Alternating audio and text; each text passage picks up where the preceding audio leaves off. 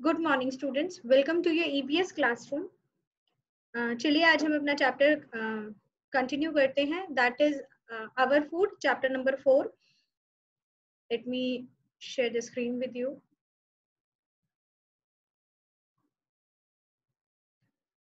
ये स्टूडेंट्स हमने uh, कल स्टार्ट करा था अपना चैप्टर सॉरी कल नहीं परसों. और uh, why do we need food हमने ये देखा था टू स्टे हेल्दी स्ट्रॉन्ग वगैरह। सोर्सेज ऑफ़ फ़ूड हमने पढ़े थे दैट इज़ प्लांट्स दो दो हमने पढ़े थे plants and animals sources of food में हमने दो चीज़ें पढ़ी थी प्लांट्स एंड एनिमल्स नेक्स्ट हमने बॉडी बिल्डिंग फ़ूड पढ़ा था एनर्जी गिविंग फ़ूड पढ़ा था एंड प्रोटेक्टिव फ़ूड आज हम पढ़ेंगे हेल्दी ईटिंग हैबिट्स यानी अच्छा फ़ूड खाना ही नहीं बट किस तरीके से हमें खाना है ये भी हमने सीखना है।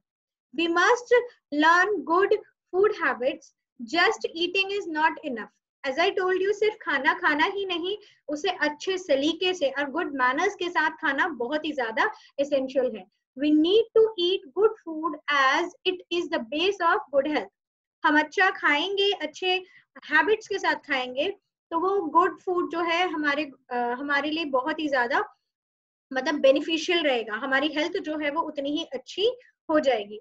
Having healthy food habits is an important as eating good food तो healthy habits healthy food eating habits जो है uh, अपने अंदर लाना वो भी बहुत ज़्यादा एसेंशियल होता है सो so दैट कि जो खाना हम खाएँ वो हमारे लिए बेनिफिशियल रहे।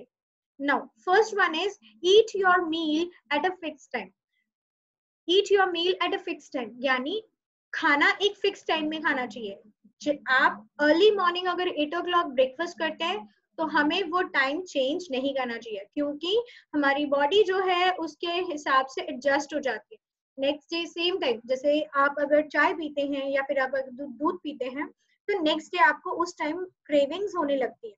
दिन में आप दो बजे अगर लंच करते हैं तो दिन में सेम टाइम आपको तब जो है, भूख लगने लगती है because our body get adjusted to the time that we feed our body. Next is, wash hands before and after taking every meal. हमें हमेशा जो है खाना खाने से पहले एंड खाना खाने के बाद जो है हाथ धोना ज़रूरी है स्पेशली नाउअडेज जब हम कोरोना से फाइट कर रहे हैं इट्स एसेंशियल कि हमें uh, हमेशा हाथ धोएँ।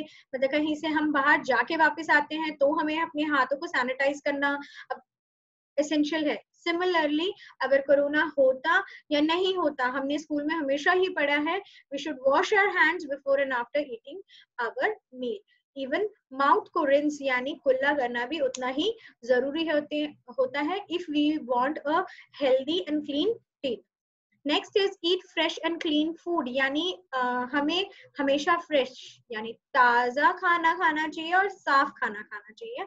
अनहेल्दी फ़ूड जो है और जो बासी खाना होता है अनफ्रेश जो होता है, वो हमें अवॉइड करना चाहिए। अवॉइड टॉकिंग वाइल ईटिंग जो हम हमेशा ही करते हैं एडल्ट लोग भी करते हैं कि खाना खाते टाइम हम बातें करते हैं। तो ये चीज़ भी हमारे लिए एक अनहेल्दी हैबिट है। Do not eat uncovered food यानी स्ट्रीट पे बिकने वाला जो खुला होता है, जो खाना जो है खुले में रहता है, उनमें मक्खी लगती है या फिर धूल लगती है उनमें तो इस तरह का अनकवर्ड यानी ढका हुआ खाना ही खाना चाहिए।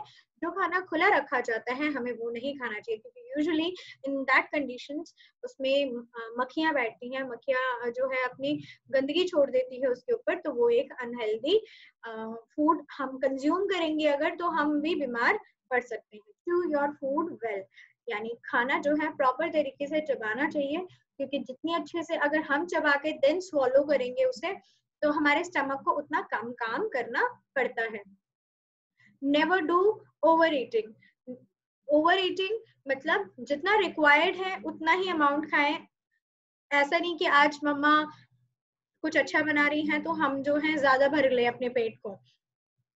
क्योंकि उस कंडीशन में हमारी बॉडी को जो है डबल मेहनत करनी पड़ती है, हमारे स्टमक को उसे पचाने में डबल मेहनत करनी पड़ती है। That can be harmful to us avoid eating food sold by hawkers यानी जो बाहर बिकता है खाना, हमें वो खाना बिल्कुल भी नहीं खाना चाहिए। यानी जो बेचने आते हैं जैसे बहुत जैसे गलियों में आते हैं बर्गर चाउमिन वाले आते हैं, नान खटाई वाले आते हैं स्पेशली तो इस तरह की चीज़ें जो है, जो बाहर बिकती हैं, वो नहीं खाना चाहिए हमें। घर में मम्मी के हाथ का बना हुआ क्लीन एंड फ्रेश फ़ूड ही हमें खाना चाहिए। आई होप ये हेल्दी ईटिंग हैबिट्स जो हैं, आपको समझ में आ गए हैं। Now next is never waste food and water हमें कभी भी खाना वेस्ट नहीं करना चाहिए। उतना ही खाना चाहिए जितना हमारे लिए रिक्वायर्ड है।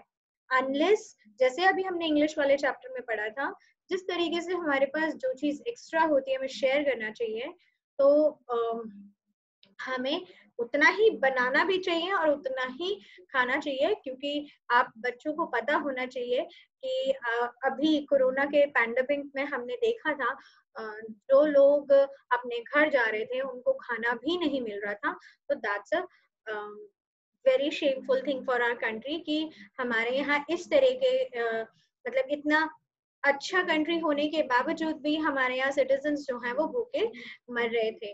Next drink at least eight to ten glasses of water every day ये चीज़ बहुत असेंशियल है बच्चों कि गर्मियाँ ही नहीं सर्दियों में भी हमें जो है हमारी बॉडी बॉडी के गुड फ़ंक्शंस के लिए वाटर पीना यानी पानी पीना जो है वो बहुत ही ज़्यादा एसेंशियल है। Seven to eight glasses water daily पीना चाहिए। Now we eat different type of food at different time अब हमने पहले जो टाइप ऑफ़ फ़ूड पढ़े थे, उससे थोड़े से डिफरेंट है ये। We have breakfast in the morning जैसे मॉर्निंग सेवन ओ क्लॉक या एट ओ क्लॉक हम जो भी फ़ूड खाते हैं, उन्हें हम क्या बोलते हैं? उन्हें हम बोलते हैं breakfast that is the first meal of the day यानी पहला मील जो हम पूरे दिन में करते हैं। ठीक है? आप लोग स्कूल जाने से पहले मम्मा पराठे देती हैं या फिर ब्रेड बटर जाम देती हैं या फिर दूध देती हैं that all comes in breakfast next is lunch lunch हम आफ्टरनून में करते हैं दिन में. आई डोंट थिंक सो कि इसमें ज़्यादा एक्सप्लेन करना है आप लोग बहुत समझदार बच्चे हैं. It is the second meal of the day यानी दिन में जो हम दूसरी बार जो हम मील uh, लेते हैं उसको हम क्या बोलते हैं? लंच जो हम दिन में खाते हैं। The last one is dinner dinner usually हम अपनी फैमिली के साथ रात को करते हैं and this is the last meal of the day ठीक है? तो मेन थ्री मील्स हमने पढ़े that is breakfast lunch and dinner तो बच्चों, मैं आपको एक एग्जांपल दे देती हूँ कि यूटी में किस तरीके से फिल इन द ब्लैंक्स आ सकते हैं। मान लीजिए, अगर मैंने क्वेश्चन दिया the first meal of the day ठीक है? तो आप मैं जैसे मैंने आपको दिया dash is the first meal of the day तो आप क्या लिखेंगे? ब्रेकफास्ट आई होप आज हम सिर्फ़ यहीं तक पढ़ेंगे। आप बच्चों से रिक्वेस्ट है कि दोबारा से जो है चैप्टर को बहुत अच्छे से रिवाइज कर लें क्योंकि इस बार का जो आपका पोर्शन है वो थोड़ा सा लेंदी है तो क्वेश्चन पेपर भी लेंदी आएगा। तो थोड़ा ध्यान से पढ़ें।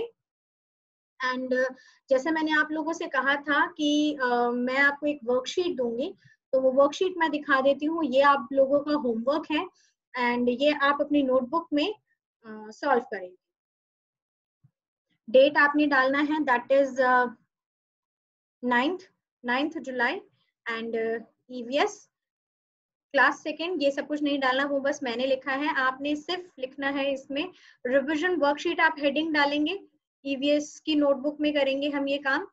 और फ़र्स्ट है right P for the plant food and A for the animal food यानी हमने सोर्सेस ऑफ़ फ़ूड पढ़े थे टू टाइप ऑफ़ सोर्सेस थे plants and animals and vegetables जो चीज़ हमें जहाँ से मिलती है हमने वो नाम लिखना है। जैसे वेजिटेबल्स हैं वो प्लांट फ़ूड होता है तो हम क्या लिखेंगे? पी मिल्क जो है नेक्स्ट वन इज़ मिल्क अगर मिल्क हमें पौधों से तो नहीं मिलता ना बच्चों। मिल्क हमें मिलता है काओ से या बफेलो से। तो वो एनिमल्स हैं तो मिल्क फ़ूड क्या हुआ हमारा? एनिमल uh, फ़ूड तो हमने क्या लिखा? ए आई होप मुझे आपको समझ में आ गया है। तो ये आप फिल करेंगे ऐसे next is to energy giving food के नाम लिखने हैं आपने। आपकी बुक में uh, हम ऑलरेडी इस चीज़ को पढ़ भी चुके हैं।